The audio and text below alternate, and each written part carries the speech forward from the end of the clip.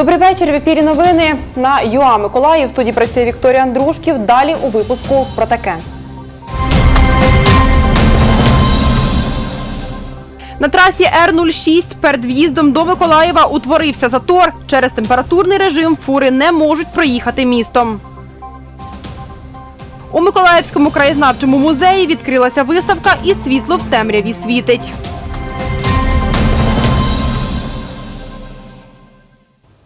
На в'їзді до Миколаєва поблизу Теренівського кільця стоїть кілька десятків вантажівок. На місці працюють патрульні поліцейські, які не пропускають їх у місто. У чому причина з'ясовували кореспонденти Суспільного.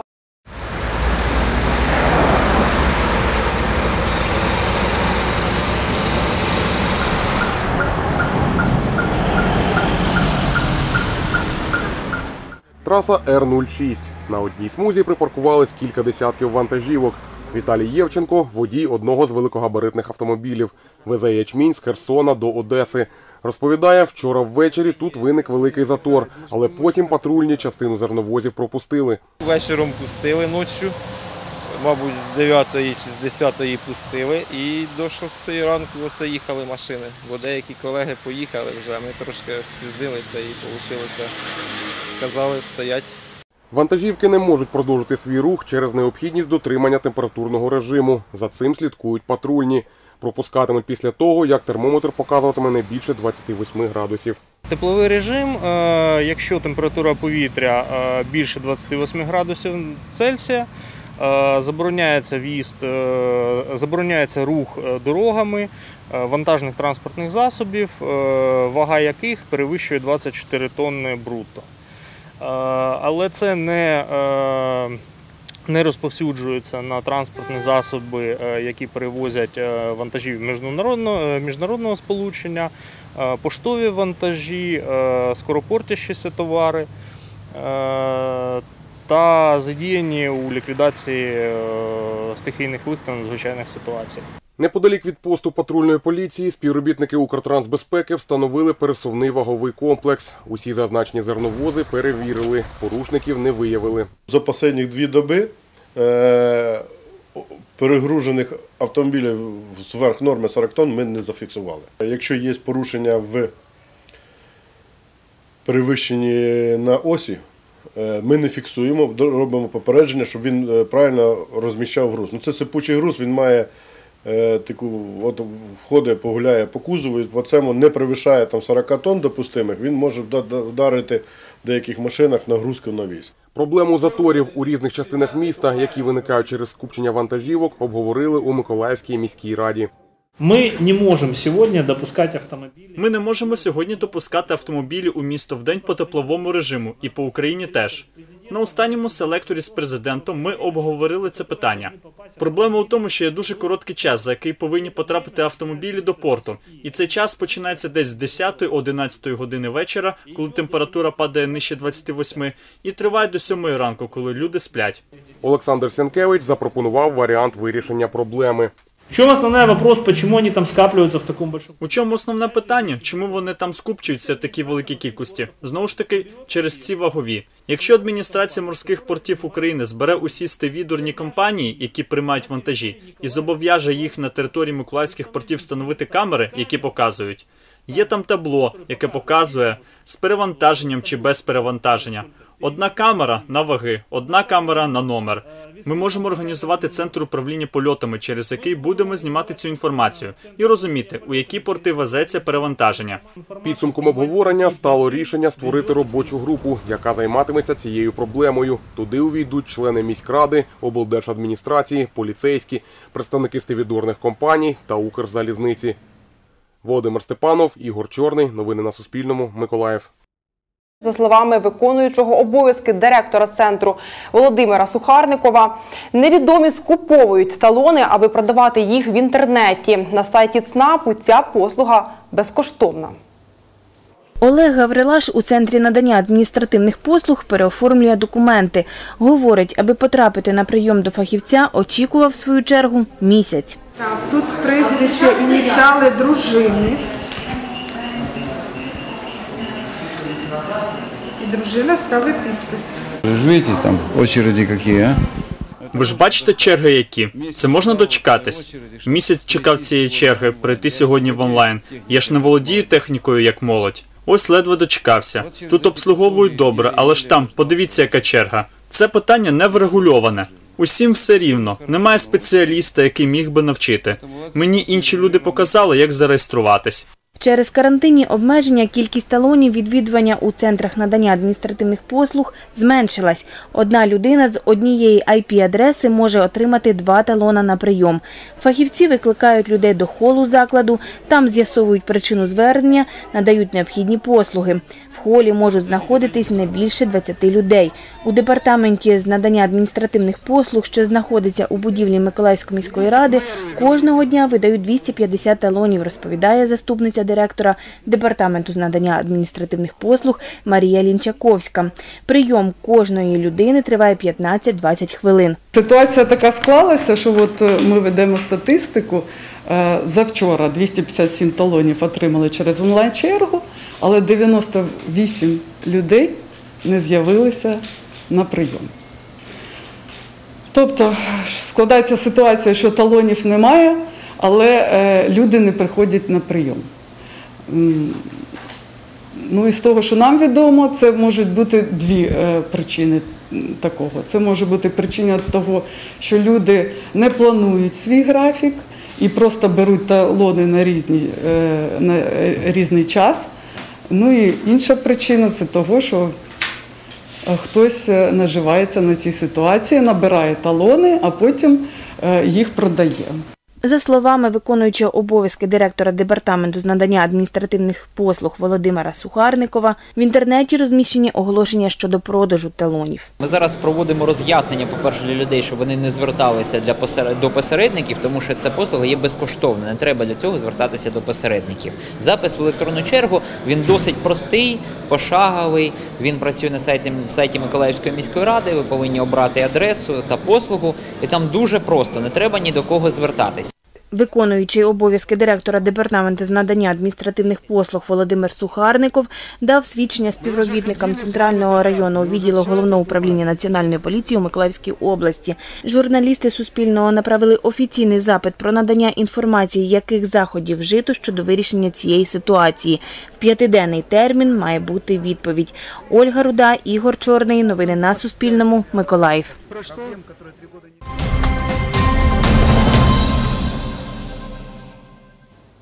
Станом на 10.00 6 липня в Миколаївській області не виявлено нових випадків COVID-19. На сьогодні ми маємо 461 хвору особу. Е, Що стосується більш детальної інформації по кількості осіб по районам та містам, лідерами у нас залишається місто Южноукраїнськ 134 особи, Доманівський район 78 та Миколаїв 77.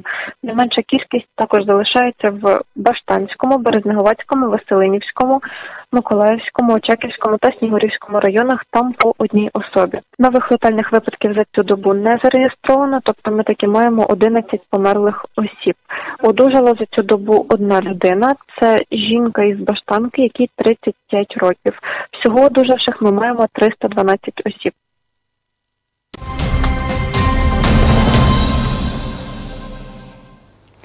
Вітрильна регата Козацький шлях фінішувала в Очакові через погодні умови. Там також відбувся концерт пісні, народжені в АТО. Для Михайла Гришина регата за маршрутом Дніпро-Одеса не перша. Раніше під вітрилами ходив із батьком. Цього року посів перше місце в перегонах. Враження, звичайно, трошки зіпсував шторм під кінець. Наша яхта постраждала більш за всіх, тому трошки неприємно вийшло. Але в цілому, те, що переміг, враження набагато кращі. Участь у перегонах брали екіпажі 22 яхт. Регата стартувала 28 червня у Дніпрі. Фінішувати мали в Одесі. Завадила погода. Не было у нас погодного прогноза точного. Не було у нас точного прогнозу. Раптово налетів шквал, тому багато яхт отримали пошкодження. Довелось закінчити регату достроково, принаймні спортивну частину. Цьогоріч регату поєднали із проєктом Пісні народжені в АТО. Ввечері в Очакові відбувся концерт. Козацьким шляхом, яким йдуть е, наші лодки, ми е, хочемо пронести наші пісні правдиві про волю, про правду, про нашу перемогу, яка відбудеться обов'язково, і ми чекаємо на неї.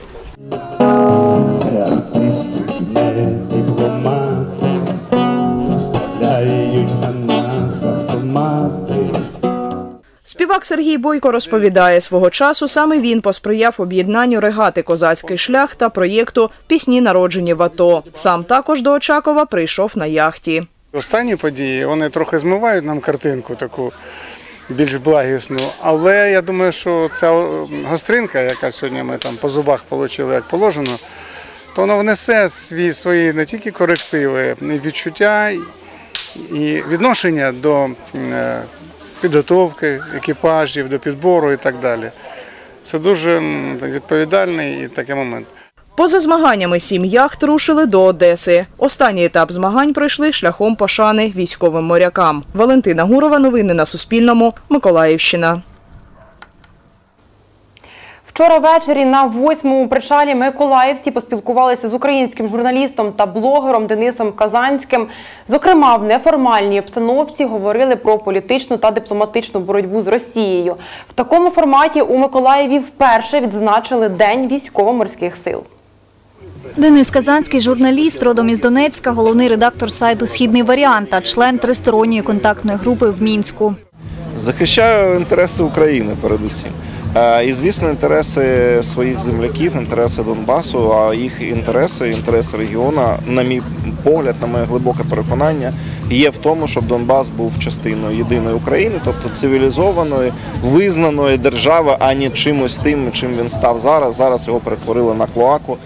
Такий захід спілкування у форматі діалогу на восьмому причалі відбувається вперше, каже модератор зустрічі Микола Капацина. Саме на його запрошення Денис Казанський приїхав до Миколаєва. Внаслідок карантинних обмежень ми не можемо зробити великого свята. Проте ми запросили дуже відомого е, топ-блогера України, який переймається е, проблемами Донбасу, поспілкуватися е, стосовно проблем війни та миру в Україні. Обговорювали політичну та дипломатичну боротьбу з країною-агресором, територіальну цілісність, війну та мир. На зустріч, що тривала півтори години, зібралось близько ста людей. Серед них учасник антитерористичної операції Олег Кравець. З Денисом чоловік знайомий особисто, каже журналіст, допомагав йому у зборі підписів проти затоплення Бузького гарду. Його патріотична позиція як людини, яка е, особисто є виходцем з Донецька, е, дуже приємна. Е, Приємно те, що е, саме виходці з е, Донбасу можуть сьогодні піднімати голос на ці питання, і те, що він є сьогодні е, членом е, цієї тристоронньої групи, це також знаєте, ну надає якихось певно надію на те, що там є люди, які дійсно відстоюють наші позиції. Такі зустрічі необхідні для миколаївців, каже бізнесмен Дмитро Фалько. Найбільше, говорить, його вразили розповіді про те, як на Донбасі вмирали підприємства та інфраструктура. Людина, яка є членом тристоронньої контактної групи, вона є першоджерелом. Він бачить всі ті процеси. Адже так багато шириться дезінформації, великий потік пропаганди лється на людей. Насправді важливо, щоб кожне слово Денису було донесено далі. Всі, хто його почує сьогодні, в них структуруються знання в голові. Він наводить приклади, чому в них так відбулось. Люди були менш активні, невпевнені тощо. Добре, що активісти Миколаєві вчасно свого часу згорнули наметові містечка і захистили місто.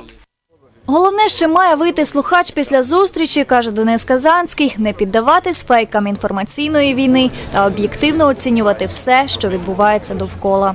Якщо у когось є ілюзії, да, тут ще залишаються такі люди, у яких були ілюзії, що там а, ці всі проросійські, скажімо так, течії, да, їм щось принесуть, якийсь позитив. Я просто хочу на прикладі Донбасу показати, що це шлях в нікуди.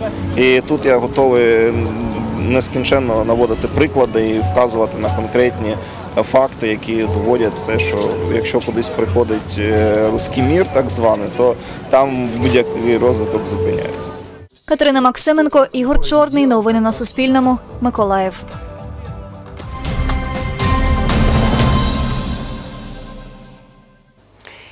І Незаконне церковне приладдя, стародруки та документи репресованого духовенства. В Миколаївському краєзнавчому музеї відкрилася виставка «І світло в темряві світить». Деякі експонати демонструються вперше після реставрації. Найстаріші експонати – стародруки 1759 року. Книги з фонду музею. Унікальність в тому, що вони взагалі доіснували до наших часів. Стародруки вони як маленькі діти. Комусь не до вподоби вогнище, там не сподобалось вогнище, там написано Москва, там Київ, вогнище, кому щось не сподобалось. Там про Бога, про Біблію, вогнище. А музей зберігає все. Це наша історія. Вони для нас дуже, дуже, вони дуже значимі такі речі, розумієте? Назва виставки «І світло в темряві світить» є символічною, говорить Тетяна Губська. Кожна вітрина прикрашена предметами, які є символом світла. Бачите, в мене в кожній вітрині світильник. Або кадильниця така, да? або ті маленькі такі лампади. Ну, ми не можемо їх запалити, ви самі розумієте. Це символіка, бо це музей. І нехай ці лампади продовжують, продовжують світити і давати людям можливість на це, на це вогнище йти, на цей світ злітатися. П'ять великих та три маленькі вітрини. Одна з них має назву «І темрява не поглинула їх». Тут зображення та речі представників духовенства Миколаївщини. Серед них світлини Михайла Шполянського, настоятеля Нікольського храму, що в Старій Богданівці. На виставку прийшла його дружина Алла Шполянська. Тут книги, які він написав і надрукував. Не всі книги, це невелика частина. Тут частини убрання священика і фотографії. Виставка дуже гарна, чудова. Тут абсолютно прекрасні експонати є, і мені дуже радісно, що батюшку пам'ятають. На цій світлині родина репресованого священика Івана Гребньова. На вітрині представлені його особисті речі: хрести, годинник, нотатки. Речі передав музею онук Костянтин Селіхов.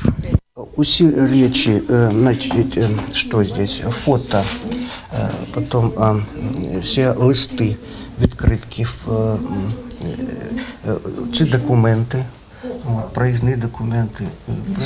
Це м, передав е, личні часи, і це все це не, не. Виставка дуже добра. Е, Ну, е, на мій погляд, маловато, маловато. Можна, можна було би зробити і більше обширніше. Більше обширніше, маловато матеріалу. Це хрест початку 19 століття з дзвіниці церкви у селі Гречанівка. Частина хреста пробита кулею. Придивляємося. Бачите, сліди від кулі, поранений хрест цей, поранений. І от такий великий шмат вирвало. Ну, є ж своя там фізика якась, да? від такого важкого удару воно вилетіло. Частина хреста десь поділася. В експозиції представлені близько чотирьох сотень експонатів. Виставка триватиме рік. Для відвідувачів вона відкриється вже завтра, 7 липня. Світлана Кльосова, Юлія Філімон. Новини на Суспільному. Миколаїв. 5 липня у 22-му турі першої ліги з футболу одеський Чорноморець зіграв в нічию з муніципальним футбольним клубом Миколаїв. Господарі матчу Одеський Чорноморець, які грали у білому, перші 20 хвилин контролювали центр поля і намагалися частіше атакувати. Втім, корабели блокували атаки одеситів на підступах власного штрафного майданчику. На 41-й хвилині голкіпер одеситів Олексій Паламарчук помилився у своєму штрафному майданчику, коли намагався обіграти гравця корабелів Владислава Охрончука. Захисник Миколаєва вивів на ударну позицію Владислава Войцеховського, але удар форварда корабелів заблокували захисники Чорноморця. На 77-й хвилині після позиційної помилки гостей гравець Чорноморці Андрій Штогрін вийшов один на один проти голкіпера корабелів Деніса Шеліхова. Після удару Штогріна у дальній кут воріт Шеліхов пальцями змінив траєкторію м'яча, який влучив у штангу. В останні 10 хвилин зустрічі корабели мали дві нагоди відкрити рахунок у матчі. На 83-й хвилині зі стандартного положення робив навісну передачу Руслан Паламар. Але форвард гостей Владислав Войцеховський ударом з 4 метрів не влучив у ствір воріт. У доданий арбітром час форвард Миколаєва Юрій Черепущак з близької відстані бив у рамку воріт одеситів, але голкіпер моряків Олексій Паламарчук врятував свою команду від пропущеного гола. У підсумку арбітр зафіксував нічию у цьому матчі 0-0. Після 22 зіграних матчів Чорноморець знаходиться на 10-й позиції. Мають у своєму активі 29 очок. МФК Миколаїв займає 11-ту позицію з 23 очками. Наступний матч корабели зіграють 11 липня проти київського футбольного клубу Оболонь Бровар. На цьому прощаюся. Мирного вам вечора. Побачимось.